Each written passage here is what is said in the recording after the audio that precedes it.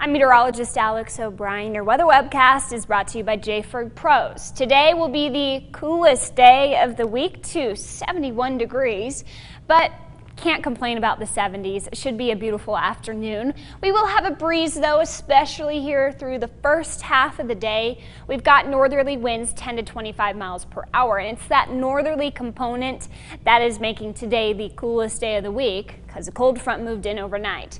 Some upper 60s are also possible today from Ralls through Plainview, Dimmitt, and Muleshoe, but low 70s will be common as well. Overall, we do have partly cloudy skies expected today. By tonight, that's where we bottom out for the week into the low 40s. Quite a chilly start to your Friday morning. Those winds starting to turn from the north to the northwest and eventually tomorrow from the west and southwest. And tomorrow we will be quite warm. Back to seasonable conditions with warm air coming in from a westerly direction from 76 from Lubbock to Morton Plains.